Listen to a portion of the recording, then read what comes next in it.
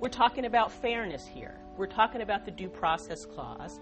And even if this is totally unclear for people litigating in these cases, we have to follow this path because this is what fairness requires.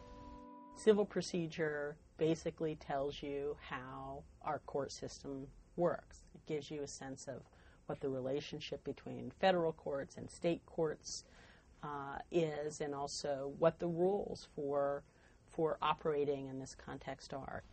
Now, finally, Marshall, and this is interesting uh, in light of the discussion we're going to have about Burnham, talks a lot about history and tradition. And Heitner had really relied on history and tradition in arguing that uh, Delaware's exercise of jurisdiction should be upheld.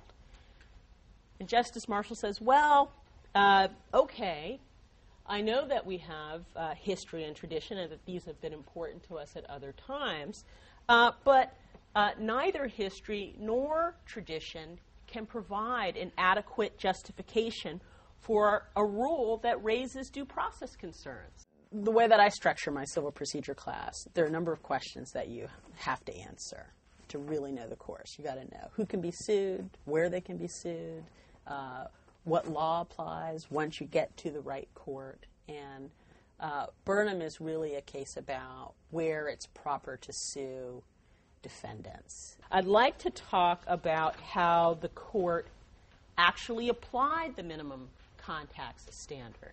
Okay, because the first part of Justice Marshall's opinion is all about, well, should we apply this standard? And then he goes on, and he really makes Justice Brennan mad when he does this. Then he goes on and he applies the standard in this case. Everybody needs to know this course. Uh, you may never, uh, after the first year, learn anything about property or hear anything about property uh, or hear anything about contracts. I certainly never did in my work as a civil rights attorney, but you're always going to have to be figuring out what's going on in the courts. It's probably easiest and best for you to think about this case as doing away with the distinction for jurisdictional purposes between in personam and quasi in rem.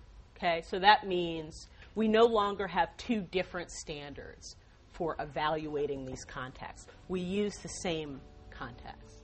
No matter what you're doing, uh, whether you're a corporate attorney, whether you're a litigator in a big firm, whether you're a litigator in a public interest organization, you're always going to have to be familiar with uh, the rules for how somebody can be sued and where they can be sued.